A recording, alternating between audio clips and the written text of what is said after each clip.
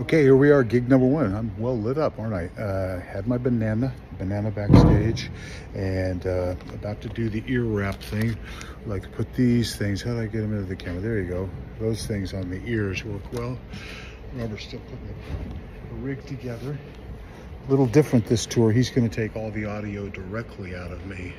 Instead of me getting a sub mixer, he's going to take everything separately. So look out. Okay.